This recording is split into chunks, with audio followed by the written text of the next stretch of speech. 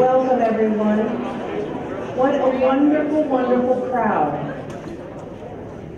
I'm Christine Purvis Johnson, and I'm honored to be the president of Conservation Foundation of the Gulf Coast.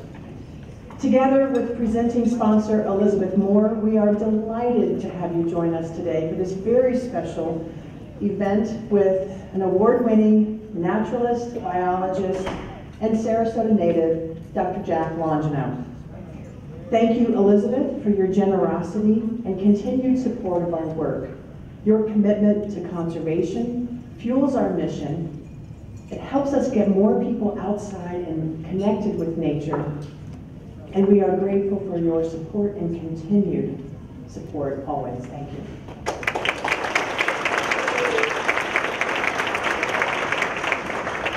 We also want to thank our major sponsors whose names you probably saw rotating on the screens, Sherry and Howard Davis, Gulf Coast Community Foundation, Sarasota Herald Tribune, Sarasota Scene Magazine, and WUSF Public Media.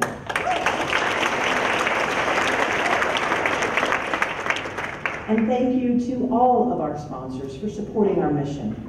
Please review the full sponsor list in your program. For those of you who may not know or be familiar with Conservation Foundation, what we do is quite simple. We save land forever. And so far, we've saved a total of 18,887 acres.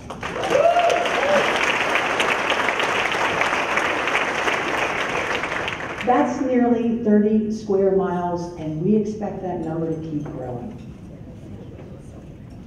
And it needs to, right? Right? We are in a race against time. With your support, we can save thousands more acres, from Manatee County all the way down to the Everglades, so that we have clean water, abundant wildlife, and special places for kids and adults to enjoy. I know you join me in wanting the next generation, and the next, and the next, and the next, forever, to enjoy the same natural beauty, wildlife, and access to gorgeous places that we have today. We want future generations to be curious and inspired by the world around them, just like Dr. Longino was inspired and curious as a child growing up on his family's ranch. That curiosity grew into a lifelong passion bringing him here today. The Longino Ranch is spectacular for its size, abundant wildlife, and connectivity to over 110,000 acres of protected land known as the Myakka Island. In 2010, the Conservation Foundation helped conserve over four, almost 4,000 acres of the 8,732 acre ranch by negotiating the purchase of a conservation easement between the Longino family and Sarasota County, ensuring the ranch's beautiful woods, wetlands, and pastures are protected forever, while at the same time allowing the Longino family to continue their heritage of ranching. That's what we do at Conservation Foundation. We work with private landowners, local, state, and federal governments, businesses, and other not-for-profits to accomplish our work for the benefit of people and nature. You can read more about our past accomplishments and projects, as well as our future ones like the Bobby Jones and rewilding the quad parcels at the celery fields on our website, conservationfoundation.com. We need to quicken the pace of land conservation. Truly, we are in a race against time, as you will hear from today's speaker. But before we bring Dr. Longino to the stage and dive into what is absolutely promising to be a spectacular and informative lecture, let's dive into our lunches and meet a couple more of your fellow conservationists at your tables today. We'll be back shortly to start the program. Enjoy.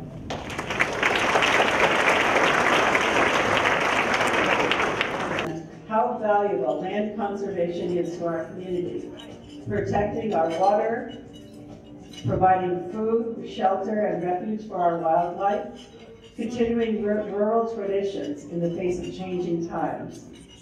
The work we do at Conservation Foundation has far-reaching impact, and I am proud to serve on the Board of Trustees for such an important organization.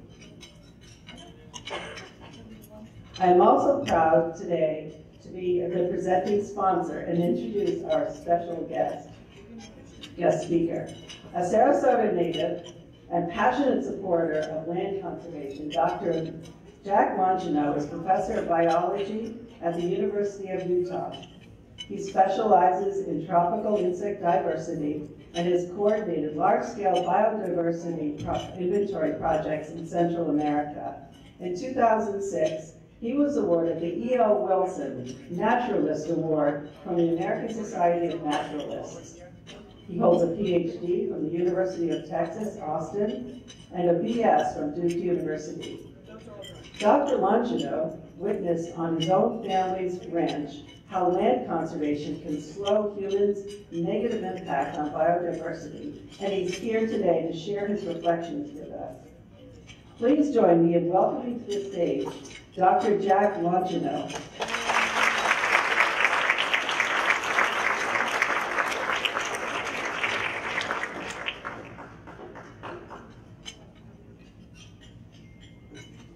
Hello, everyone. Thank you for the Conservation Foundation for inviting me today.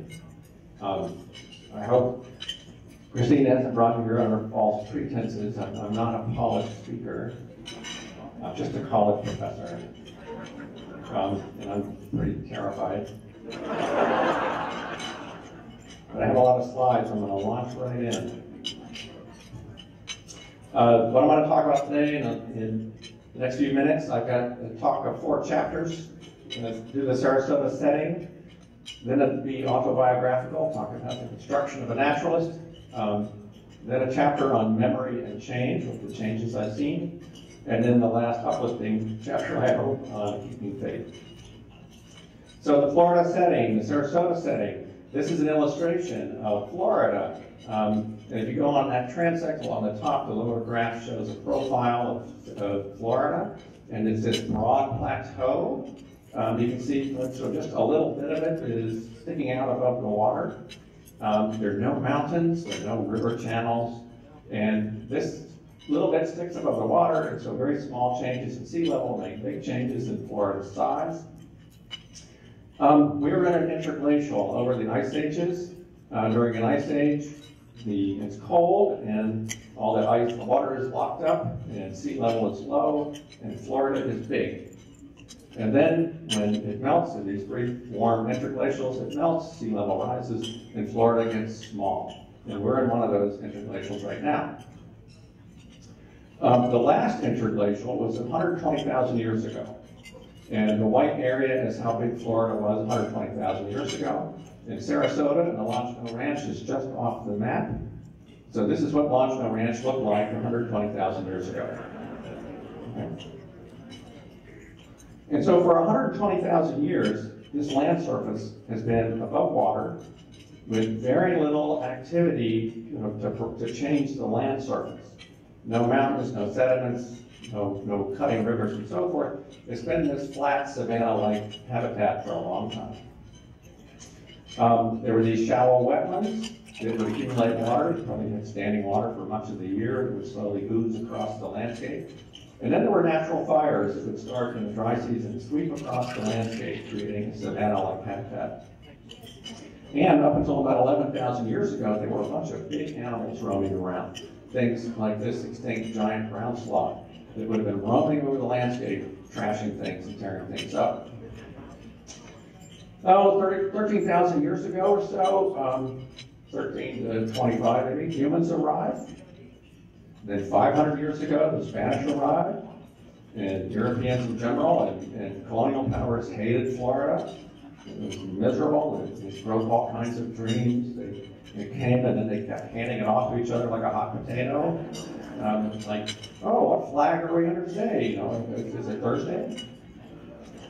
Uh, but the Spanish did bring a number of things. They brought horses, they brought cows, they brought pigs, they brought citrus, and a variety of other things. And so cattle, uh, which I consider a replacement for the giant briefly extinct megafauna, were roaming across the Florida flatwoods for 500 years. Uh, but making improved pastures, that's a recent phenomenon. That's that's something in the last 100 years or so, and that because that requires uh, internal combustion. Um, another thing that changed is Europeans started burning in the winter when fires were less intense, and the habitat turned, you know, became much more tree filled because more trees survived those fires. And then about 100 years ago, um, we started the draining of Florida, massive drainage projects uh, all over the state to sort of drain those Florida swamplands.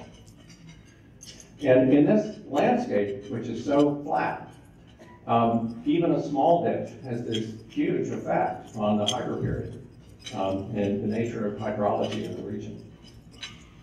So let's think of a clock. This land surface been above water for 120,000 years. Let's say that's a 12-hour clock. Now, well, humans arrived about an hour ago. Um, Europeans arrived maybe three minutes ago. Uh, this massive drainage program happens about 36 seconds ago, and I happen in about 24 seconds ago. So now, chapter two, the construction of a naturalist. Um, this is where I, I get to be autobiographical. Um, so here I am. So back in the uh, 1930s or so, my grandfather and, and in-laws uh, purchased maybe 15 square miles or so of Florida swampland in eastern Sarasota County and ran a turpentine operation. Um, and then I was um, born in 1956. Uh, it, well, so I forgot a, a stretch. So my father was in World War II. Um, he came back, went to forestry school in Gainesville, uh, inherited this land with uh, his three sisters, my aunts. And they inherited this chunk of Florida swampland, and my father said, well, how about if I am be a cowboy? And started a family corporation uh, with his, his extended family to develop this property as a cattle ranch, and then later citrus. Um, and so I grew up with all of these cousins uh, running around. Um, and many of those, and, and, this is still a very active um, agricultural operation, and many of my cousins, you know, are involved in the, in the management and running of this property, um, and I am deeply indebted to them for for maintaining the Longino Ranch. Um, now, I'm one of those fortunate people in the world. I mean, the smartest thing I ever did was to choose these people as my parents and to be born at this time and this place um, in history. Um, and I didn't actually grow up on the ranch. So I grew up in Malik Circle in Sarasota. And um, you know, my father commuted every day out to this eastern Sarasota property. Um, this is Malik Circle, an aerial photo in 1948. It would eight years before I was born. Um, and it was uh, a, and it was flatwoods and pasture. There was an orange grove there, you can see sort of in the middle. I don't have quite, I don't, I can't, I don't have a good pointer really, but anyway, this is uh, Malik Circle in 1974 when I went to college. Um, and so I grew up in this area running around, and in the kind of lower left, there was an amazing patch of Florida scrub habitat um, with an incredible diversity of things. And, and, I grew up on one of those, one of those houses on Malik Circle. And this is Malik Circle now. Um, and the area has, has changed and developed. Um, but this was my, you know, where I, I started, you know, learning, you know, being interested in biology. Uh, as a kid, I was kind of interested in the creepy crawlies, snakes and bugs. And, you know, I didn't, and I had this incredible series of people who shaped who I was and opened doors for me along the way. Um, and I can begin with John Hegner in sixth grade, who had us all make an insect collection. Um, Charles Hoger at Pineview School was the first grown-up I knew who was a natural historian who was interested in, in turtles and snakes. Um, Ed Taylor at Riverview High School uh, talking about the science of ecology and oceanography.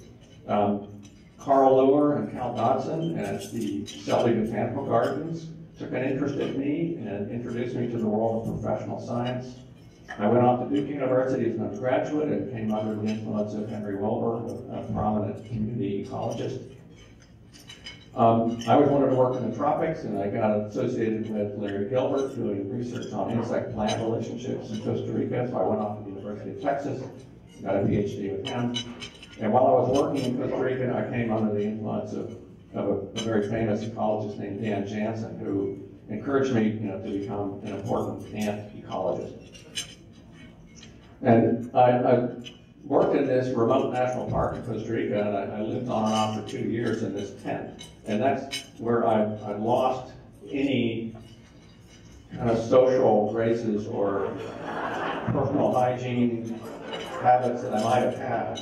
Um, but there, I also met an exotic tropical creature, Nalini Nadkarni, um, who didn't mind my tent or that I didn't wash my clothes. And, and we got married and raised children, um, and then developed careers and went on, and, I became this sort of professional uh, biologist. Um, we worked for many years at the Evergreen State College in Washington State, um, and then about a dozen years ago, were recruited away to the University of Utah for my biology, um, where we are today. Um, and I, I sort of developed this career as, as an ant expert, and I've done all these uh, inventory projects through Central America, running around in rainforests like I love to do, and have become this, this, this ant expert. But that's not what I'm here to tell you about. Uh, oh, and here's, you know, this thing, I became an ant expert. But now I want to move to chapter three, uh, which I call memory and change, and these are the changes I have seen since growing up on that circle. Uh, some of my earliest memories in life is following a fire plow uh, at the ranch, and it was it was amazing. Um, I also, about that time, I remember seeing the one spotted civet cat I've never seen in my life. I've never seen another one. But what there were a ton of were snakes. Snakes were fabulous. Um, at the ranch, you run up, you know, you could see a, a, a little pygmy rattlesnake about every 50 feet. Um, diamondback rattlers were, were scary and around and not super high density. Water snakes, oh my gosh, the banded water snakes. Any body of water dozens of these things poking up. And everybody knew they were moccasins. Many, many banded water snakes lost their lives by being mistaken for a moccasin. The rat snakes, yellow rat snakes, and, just all kinds of things. Um, what's interesting is some of the most fabulous snakes were around Mallett Circle, where I grew up, not out of the ranch, because of that patch of, of native uh, scrubland, a little sand ridge. And there, there were speckled king snakes and other kinds of king snakes and coral snakes and green snakes and a coach whip. And the one time in my life, know, seeing this eastern uh, pine snake, which is now an endangered species. At that time, the really rare, you know, wonderful and amazing thing to find was the blue indigo snake, the largest snake in the eastern United States. And, and these things um, were always low density, and it was super wonderful when you find them. Um, snakes are basically gone. I mean, it's interesting, the indigos still seem to be about at their old density. I still find them about the same rate I used to, but nothing else. I mean, the, the snakes have almost completely disappeared. They're very rare. Uh, this is the last diamondback rattlesnake I saw, um, which was maybe 15, 20 years ago um, in the back of someone's truck. Frogs. Um, so there's still plenty of, of, frogs around, but when I was a kid, there were frogs. And out of the ranch, the houses at the ranch were dripping with the green tree frogs. They were crammed into every crevice. Uh, the green animals, they're still around. They're just lower density, uh, but they used to be really abundant. We would clip them to our earlobes and walk in and freak our mothers out. You know, garfish were floating, you know, under just under the surface in any body of water in large numbers. Uh, these these freshwater mussels, you know, filled the sand of those wetlands. Know, these things all much lower density. I've rarely seen them in my you know, the ranch. Quail, quail used to burst out of the palmettos and me to death in these big flocks, and that doesn't happen anymore. And and um, whippoorwills, and certain times of year you hear whippoorwills at night. And I think they were the same as the things people call bullbats. And in my childhood, I remember seeing, you know, driving at night at the ranch and these reflective eyes would look at you and then fly up in the road. And they were bullbats, and I think they were whippoorwills, but they don't seem to be there anymore. Plants, in the world of plants, um, the, the strangler fig, Ficus aurea, used to be quite common on the ranch, there's lots of them. Um, I did find a single Annona glabra uh, plant in a hammock, the pond, the Everglades pond apple, and also a single Eugenia plant, the white stopper. These kind of tropical elements. There are a lot of tropical elements in the ranch, yeah. um, including this Everglades butterfly, the red dagger wing, whose caterpillars eat the strangler figs. Um, so this is exciting. And then, of course, there were praying mantises. And in high school, I was a total praying mantis nut. Uh, they really excited me. I tried to learn all about them. And there was the grizzled mantis in the upper left. It's an amazingly camouflaged thing on both trunks and totally flat. Um, the, the grass mantis, um, that upper center one, was super abundant. And they were just everywhere. And their little egg cases were on every window screen. Um, the Carolina and Florida mantises upper right, and then the lower ends they went around. The little Mantoida mantis and the leaf litter, but the prize, the really cool one, was the little right Brunneria borealis. This, this incredible mantis where there were only, it's parthenogenetic, only females known, wingless, um, and just a really cool mantis. I don't see mantises at all anymore. I haven't seen a mantis in decades in, at the ranch. Um, I, they're gone. Uh, other big insects that attracted me as a kid, there were these big shiny beetles. This is a, a longhorn beetle that specializes on Hamelia, one of the shrubs, tropical shrubs out there. Um, you know, these are still around, sort of. Uh, the, the zebra swallowtails are great. They lay eggs on the on the pawpaws and the, and the flatwoods, and you raise the caterpillars and stuff. This is one of my favorite wetland plants, Thalia geniculata. And the inflorescences are always covered with this specialized uh, bug that, that is an herbivore, feeds on the inflorescences and seeds of, of this plant. You know, and I don't see so many of those around. And moths. This, this was not taken at the ranch, this was taken in Guatemala, but, um, but nevertheless, this sort of phenomenon would happen, and, and they would be moths and lights in the windows, and you put up a light at night in the woods, and there'd be a ton of moths. And it just doesn't happen anymore. So this is my lab at the University of Utah, and those cabinets are basically filled with the world's ants, and, and, and I'll spend time extracting DNA from these ants. But over in the corner, there's that insect cabinet. And that's the insect cabinet that I show people, you know, who come to visit the lab, and this is what I call the gee whiz bugs. And these are things I've collected starting with my high school collections here in Sarasota. And so they're showing beetles and stuff, and, and I can't point to it, but one of those things is a rhinoceros beetle that I, you know, were common behind the house in the circle that I collected there. Um, little shiny dung beetles, and on the right is my praying mantis and cockroach drone. And there are the grizzled mantises I collected in high school. You know, there are the Florida Carolina mantises I collected in high school. And there are those grass mantises, you know, that I, that I collected when I was, when I was in high school. Um, and it would be very hard for me to recreate this collection. And I, I, I, I don't, I couldn't do it. Couldn't find these things. Okay, and so now I want to tell you about you know, some other things that changed that happened during the time from when I was you know, in, in grade school until now. I'm going to start with a little you know, thing about causation correlation, which is one of the most difficult problems in science. How we automatically you know, assume causation for things when, when really what it's a, a lot of correlations and it's a real challenge to say, okay, what actually causes things. And this is the, you know, so it's simple example of that phenomenon of, you know, purchase of ice cream is correlated with getting sunburns, but we don't think that purchasing ice cream causes a sunburn or that getting a sunburn causes you to go buy ice cream. There's some other factor that's influencing both of those in the same way. Nevertheless, these are the things that have happened over time. And one of them is massive freezing. Um, and you know, this on the left on the left is a 1985, you know, giant freeze, mainly reflected in losses of citrus crops. And then 1989, there's a Christmas freeze of 89, you know, massive citrus crop loss.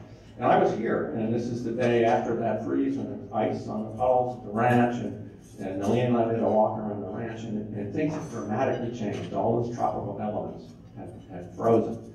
Now, this is a big strangler thing that I went to every year for a long time through the seventies and, and eighties, and, and this was, on the right is the day after the freeze. And this particular tree is, is now gone.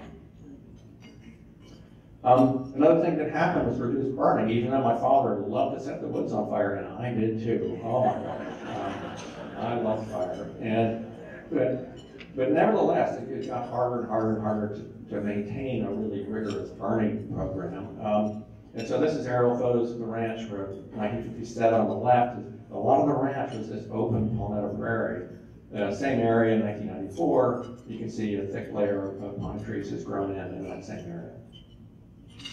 Another thing um, that is, is sort of different the landscape is fertilizer. You know, what is, you know, this, this sort of, you know, we live on these sterile sands, and, and to grow any cows on a pasture, you have to fertilize. So I remember the fertilizer trucks, you know, going over the improved pastures, spreading nitrogen everywhere, dramatically increasing the nitrogen budgets of our ecosystems. And then, of course, this would move across the whole landscape, uh, being moved by cows. And then introduce various introduced species. Uh, pigs. Pigs were introduced 500 years ago, but for some, somehow it seemed like in the 60s they were super abundant. Um, had a population explosion. Armadillos. I mean, a lot of people don't realize armadillo, the native range, went to the Mississippi River, and then in the mid 1900s they crossed the Mississippi. And then they exploded in Florida. And when I was a kid, you couldn't walk without tripping over armadillos. You they were everywhere.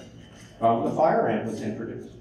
Um, from Argentina, and that became everybody's number one, you know, public enemy, terrible pest, on your toes. I hated fire ants. Um, and then um, we had the aerial spraying of Mirex, a powerful insecticide that was then aerially broadcast across the entire state. And I remember standing in the backyard of Alex Circle as this bomber flew overhead and hearing the sprinkle of the little Mirex pellets sprinkling down onto this onto the pavement. So those are things, you know, that happen. Um, now, not everything declined. We have some things that have increased in abundance over those, those years. Um, mostly introduced species. One of them is the brown anole. Um, Cuban anole was introduced, became super abundant. Um, you know, we know all these plants, Brazilian pepper, uh, coconut grass, soda palms, melaleuca, all these, all these kind of things we hate as, as invaders. Um, one thing that it's an interesting change is when I was a kid, there were no deer at the ranch, none. And now they are quite abundant. Okay, chapter four, last chapter, uh, keeping faith. So this thing about insect decline, this, this seems to be a real thing. Um, this was a colleague of mine, Dave Wagner, he and authors uh, published this paper in the Proceedings of the National Academy of Sciences a, a year or two ago. Um, uh, and it was, you know, kind of assessing, and documenting that we do have this insect decline that's happening all over the world, and we don't really know why. And there's no single smoking gun. And they, you know, titled it "Death by a Thousand Cuts." That there's just a whole lot of environmental insults that are happening, and including a number of those things that I just talked about. And it, you know, it gets into the media, you know, that we're, you know, and this collapse, the Insectageddon, uh, Florida figures prominently in those media accounts, you know, because everybody remembers that when we, my age remembers, that if you drove to Gainesville, you had to stop every now and then to clean all the bugs off your windshield. And you don't have to do that anymore. But actually, when I think about this, the bugs we mainly had to clear off the windshield were love bugs. They came in and were an introduced species that became super abundant. And, and that doesn't seem to happen much anymore. Okay, so with all this gloom and doom, you know, what do we do? You know, do we just give up? Um, and I say no. Uh, we need to look forward. Um, but now, know, I like to philosophize and, and you know, teach ecology. And I always go back to these two guys, uh, Democritus. You know, uh, Democritus is credited with inventing the concept of the atom. You know, that the underlying reality there is are these eternal fixed units, um, and there's a, a structure you know, to the universe. Um, and the universe is sort of like this this machine. Um, and then there's the other guy, Heraclitus, and he's the one who is credited with saying you can never step into the same river twice, that everything is changed, everything is chaos, um, with a grim view of, of reality. And, and these kind of different, I have to say I'm firmly in the Heraclitus camp. Um, but, you know, these, these different threads of thought have been there for a long time, and they're in ecology, and part of ecology, and a lot we try to think of ecosystems as these elaborate machines. And we've broken them, you know, we've broken the machine, so now we need to fix the machine and, and get it back to the way it was. Um, but I don't think the machine is a good metaphor for these things. It, it, everything has changed, and we have to deal with that. And you know, so we can't go back and, and recreate some some glorious past when, when all the big bugs were out there running around and lots of snakes. And it's gonna it's gonna be hard to do that. Um, but this is you know what's interesting to me is just a couple days ago, I'm preparing for this talk. There's this thing called iNaturalist where people can take pictures of things they see and post them and people identify them. And I looked up the Brunner's mantis, my favorite thing, and these are all the reportings of Brunner's mantis from the last you know, few years. So they're still here. You know, they're scattered around. They're just much lower density. And so the, and these ranch lands, you know, it's all about relative abundance. You know, the things are are not necessarily going extinct. They just don't look like the way they used to, or don't have the abundance they used to have. And these ranch lands are still teeming with, with life. You know, I can still go out and see the, the, the heliconias, the, the zebra butterflies clustering up to sleep together at night. And, and if you go walk in the flatwoods at the right time here, you might get to see a pine lily. So what are the major threats? You know, what, you know, what do we have to do going forward? And, and so I've got a number of recommendations. Um, that might be somewhat controversial, I but, but, uh, but I feel like the number one enemy is, is just land clearing. You know, the fact that, and, and Florida has no natural protection, you know, it doesn't have rocks. You know, I grew up without any rocks to throw at kids. Um, and it doesn't have any topography to impede things. And you can take a 120,000 year old surface, so, clean it off in, in an afternoon recover. Um, but now, exotic species. Um, I feel like we maybe oh, we get a little overzealous sometimes in controlling exotic species. Uh, there's this pattern when, where exotic species arrive and they have an explosion, and it seems like the world's going to come to an end, and everything we know is going to die. It's all going to become one thing. Um, and so we're determined to, to get rid of this thing. But if you just leave it alone, after about 20 years, they tend to get less abundant. They never go away, they just fade into the background. Um, and I've seen this happen with armadillos, not nearly as abundant as they used to be. Um, fire ants are not as abundant as they used to be. Um, and so I do, I'm concerned about these, about the use of large-scale kind of chemical control of exotics. And uh, I would prefer that we got a little less freaked out about exotic control. Um, use of fertilizers, you know, this is probably having a big effect on things. Um, and um, I think it's just if we could kind of minimize fertilizer use in general, that would be good, and agri agrochemicals in general. Um, restoring hydro period, you know, one, I have this, you know, this idea that maybe you know part of the impact of those freezes is because the hydro period has been so changed that if, if Florida had more standing water, there would be a lower effect of, of these of these hard freezes. Um, so this is our mitigation bank at, at, at the Longino Ranch, you know, where we, you know, it's a, a large wetland that was ditched probably in the 1960s or so, and that we you know, burned and are you know, trying to reestablish a natural hydro period in this large wetland. And then, of course, my recommendation is, is to burn, baby, burn. And I, this is so hard to do in, in today's world and in our kind of risk averse everything. Um, but the more fires you set, the better. Um, and, you know, so, you know, I'm gonna, you know, my, my, my sort of last closing statement here, you know, um, is, you know, we can set aside these areas. It's what you all do, and it's fabulous. You know, that that retain you know, a diverse assemblage of animals and plants. And we can be mindful of the processes that shape those lands, and we can try to minimize the changes to the basic building blocks of those ecosystems. And if we do that, our children may still be able to walk through a diverse wildlife prairie. And um, maybe even find a, a Brunner's mantis. So, thank you. Be happy to take any, any questions.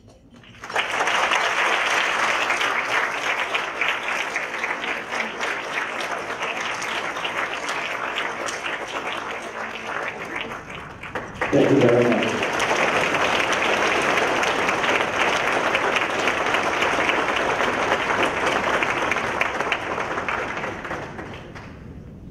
Thank you very much, Dr. Longino. That was an amazing lecture, and we really appreciate your personal remembrances and your comments for what we might be able to do in the future. I'm Rhonda Deems. I am the chair of the Board of Trustees of the Conservation Foundation, and I really appreciate you all joining me here today. Thank you again to our sponsors. Thank you to Elizabeth for helping us arrange have Dr. Longino here. We are um, so grateful for all of your support. Um, I also want to help, uh, ask for your help in supporting our mission. Our mission, of course, is to conserve land for the benefit of people and nature. And if we're thinking about what can we do going forward, how can we all um, come together to help. One way is to support uh, the Conservation Foundation. We must, we must save these special places. I think this is a very eye-opening discussion about um, the impact that we are having on our environment. What can we do? We can help to conserve the land for the benefit of nature and uh, to enhance the biodiversity, safeguard our water supply, and ensure that future generations have access to the same natural places that we do today. Dr. Longino's story and science gives evidence, credence to the need that we need to help conserve these properties please help us to make uh, the places, to quicken the pace of conservation. We have donation envelopes on your tables today, and uh, staff is ready to help you if you would like to make a, a donation via credit card. If you'd like your gift matched, we have the ability to help you with uh, the Flanzer matching program. That's an amazing program that will can, uh, match up to $500 a month, and there's a QR code on your on your uh, tables that will help you do that. It's a, an extremely important thing that we are doing, and it's um, uh, tragic to think that we may be missing the opportunity to help uh, save our natural places. So thank you so much for coming out today, for supporting our work, and uh, thank you again, Dr. Longino and the Longino family, for your efforts in conserving your property.